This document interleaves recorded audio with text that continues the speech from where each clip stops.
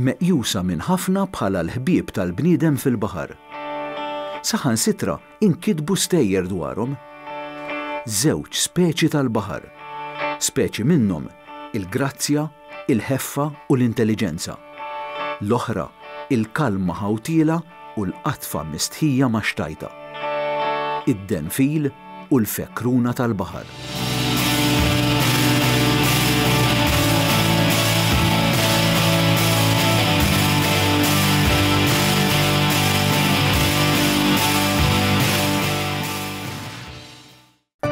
Żewġ speċi tal-baħar li nsibuhom bħala speċi simpatiċi u ħelwin.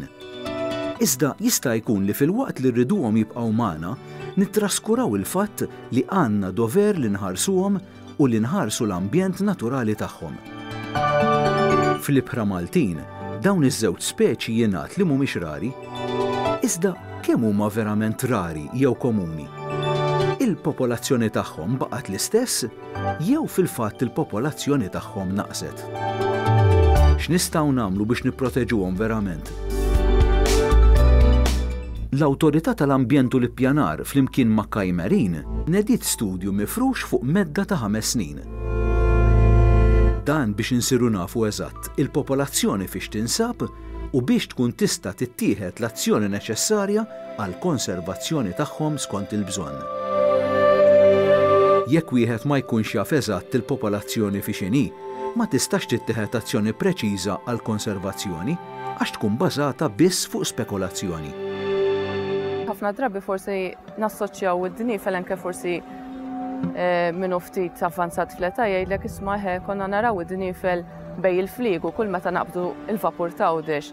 Illum il-ġurnata forsi ma saretx daqshekk komuni jew nistgħu ngħidu li saret iktar rari. Irridu nkunu nafu x'qed jiġri eżatt. Naqsu d-dniefel jew forsi d-dniefel marru anke f'postijiet oħra fej fej hu iktar importanti għalihom li jistgħu jieklu iktar jew isibu iktar ikel. Malta qiegħda f'post strateġiku ħafna, qiegħda propju fin-nofs tal-Baħar Mediterran, allura hija importanti ħafna anke l-migrazzjoni tal-fkieren kif ukoll anke tad-dniefel. Però nafu pereżempju li jista' jkun hemm migrazzjoni tal-fkieren, pereżempju min-naħa tal-Libja jew min-naħa tat-Tunisja fejn jibejtu ħafna fkieren li daw eventwalment imbagħad jitilgħu iktar il fuq eh, skont it-tip ta' ċiklu li jkun hemm, ġifieri nafu li Malta hija wkoll importanti anke mħabba dit tip ta' migration. Jekk insibu li għandna migration routes importanti, nistgħu ngħidu isma' dawn nistgħu nipproteġuhom b'mod iktar aħjar. Biex isir dan l-istudju, intuża l-katamaran Aurora Boreal.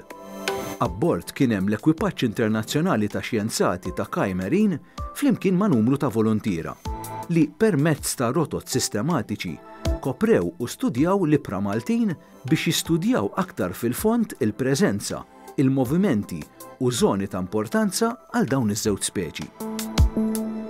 It's an international crew. We have people from Switzerland, from Germany, from Portugal, from Malta now, from uh, Spain. Uh, and it, it changes along the year. So probably this year we'll have around 15 nationalities represented here. It's a mixture also between scientists. So we have five scientists and we have right now uh, six volunteers also. Dawn is-surveys kienu qed isiru kuljum u kienu qed joħorġu sa sal-25 mil nawtiku tal-baħar ta' madwar Malta e, u kienu qed isegwu e, pattern partikolari ta' kif għandu jsir is-surveying.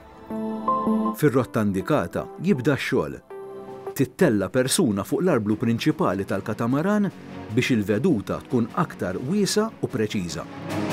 Minbarra dan, membri oħrajn joqogħdu f'żoni strateġiċi oħrajn fid-dgħajsa jittawlu permezz ta' trombi biex ikunu jistgħu jinnotaw dniefel u fkieren tal-baħar jew annimali oħra.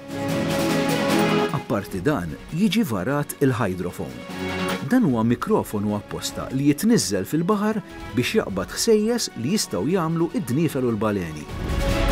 B'hekk tinqabad il-preżenza tagħhom, anki jekk dawn ikunu forsi 'l bogħod jew fil-fond wisq biex jidhru jew it-temp ikun ħażin wisq biex jippermetti li jidhru. Hawnhekk, l-ikbar sfida hija t-temp. Biex isir dan ix-xogħol,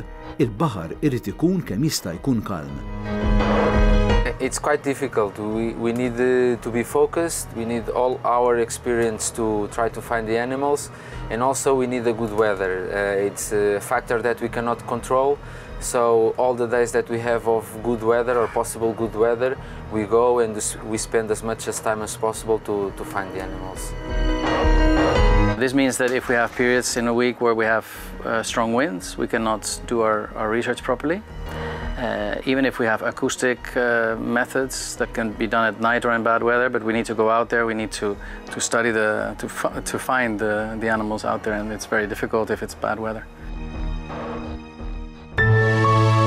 Il-proċess huwa wieħed twil u jista' jkun hemm ħinijiet twal fejn ma jinstab xejn.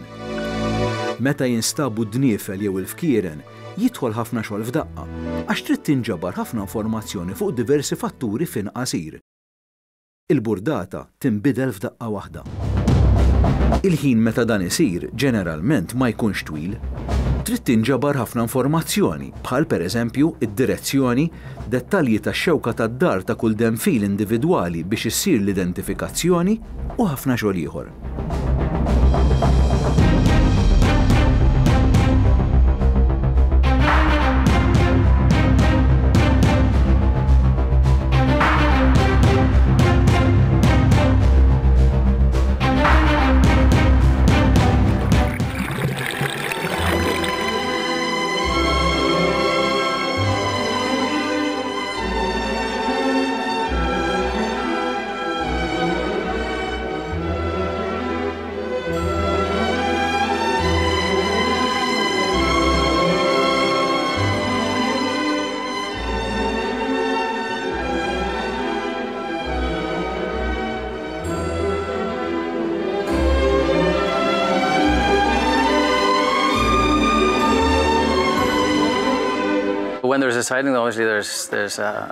degree of excitement. These uh, there's a lot of work involved, so we have the adrenaline flowing. We, if we have sea turtles, we have to be very careful that the turtle does not detect us because otherwise it will disappear. And uh, then we have to prepare all the, the gear, the, the tags, the video cameras, and the divers have to go out to do the experiments. If we have uh, dolphins, it's a little bit the same. We have to uh, not lose them, Get close to them, see if they are, if they have a positive response and then start different methodologies. Kull darba li ssir sejba ta' xi waħda mill-ispeċi fl-istudju, jiġi mniżżel kollox ħalli tinġabar l-informazzjoni matul iż-żmien. Permezz ta' din l-informazzjoni, ikun jista' jsir rendikont viżwali ta' kemm instabu minn dawn l-ispeċi, kif ukoll jibdew joħorġu xi xejriet, bħal pereżempju, l-inħawi fejn dawn l-ispeċi l-aktar li jinstabu u jekk hemm xi żoni ta' importanza għalihom. Biex jiġi aċċertat li d-dniefel li jinstabu ma jkunux l-istess li nstabu post ieħor, isir proċess ta' identifikazzjoni ta' kull denfil meta dan jippermetti. Dan isir billi jittieħed ritratt tal-pinen tad-denfil. Minħabba li kull denfil ikollu pinen uniċi għalih, dan iservi biex kull wieħed jiġi identifikat għalih. Dan il-proċess jieħu ħafna żmien. We need uh, some years and we, we think that in this case for cetaceans we need uh, 10 years it's already uh, a good set of data and time that allow us to to understand which are the common patterns here and the outcome here it's not on short term, it's a long term outcome. Iżda wara kollox, dan ix-xogħol għalfejn isir? Dawn huma speċi importanti li llum il-ġurnata qed ikunu threatened mhux ħażin, ġifieri għalkemm kultant nisimgħu lis-sajjieda forsi jgħidu li l-fkieren żdiedu, irdu naraw il-persentaġġ ta' X'tip ta' fkieren żdiedu? F'liema age partikulari t-tip ta' fkieren żdiedu? Din il-fekruna partikulari u dan id-denfil, id-denfil ta' geddu ma' qasir, prattikament huma mħarsin bil-liġi Ewropea kif ukoll b'numru ta' liġijiet oħrajn internazzjonali kif ukoll reġjonali. Apparti dan l-istudju, il-MEPA nediet sforz biex ikun hawn aktar għarfien fuq dawn l-ispeċi u l-bżonn li dawn mhux biss jiġu studjati, imma wkoll imħarsa. Sfortunatament, dawn l-ispeċi huma mhedda globalment minn diversi aspetti tal-preżenza tal-bniedem. The marine garbage, the marine debris here can be an important factor because from our experience we already collected some uh, fishing gear, lost cables, lost fishing gear in the ocean. Uh, that can be a problem especially for marine turtles because they can get entangled between the cables. Biex dawn l-ispeċi jkunu protetti hemm bżonn l-għajnuna ta' kulħadd. Fost dawn hemm is-sajjieda. Marine protected areas or management at the sea can only work through the active involvement of sectors and there's two sectors that have a special important role to play as as in the, in what, it, what we call the stewardship of the sea and that is fishermen and also the tourism industry working very closely with the sectors has had very uh, positive results. We have uh, had amazing results with fishermen in, in other places where we've worked, in, in Spain, but also in Djibouti and in other places. We really want to discuss with them what, what their concerns are, how, how uh, we can maybe link our science, which is uh, one type of science, with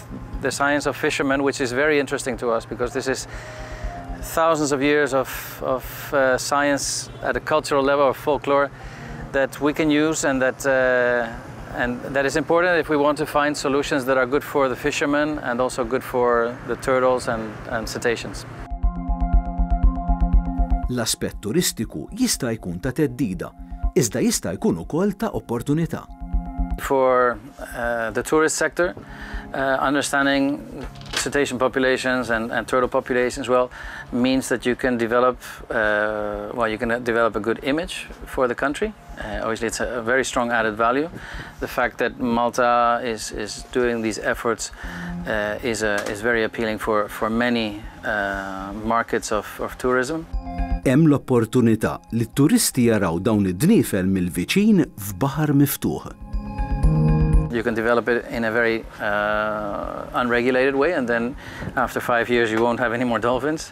Uh, or you can do it well and then uh, it's the opposite. You have uh, a fantastic industry that can make uh, very high revenues and uh, but it has to be controlled. It has to be the, the person doing this has to be the first one interested in, in that we have proper regulations, codes of conduct, so that it's a long-lasting uh, industry. Il-MEPA nediet ħidma biex isir għarfien aħjar dwar dawn l-ispeċi.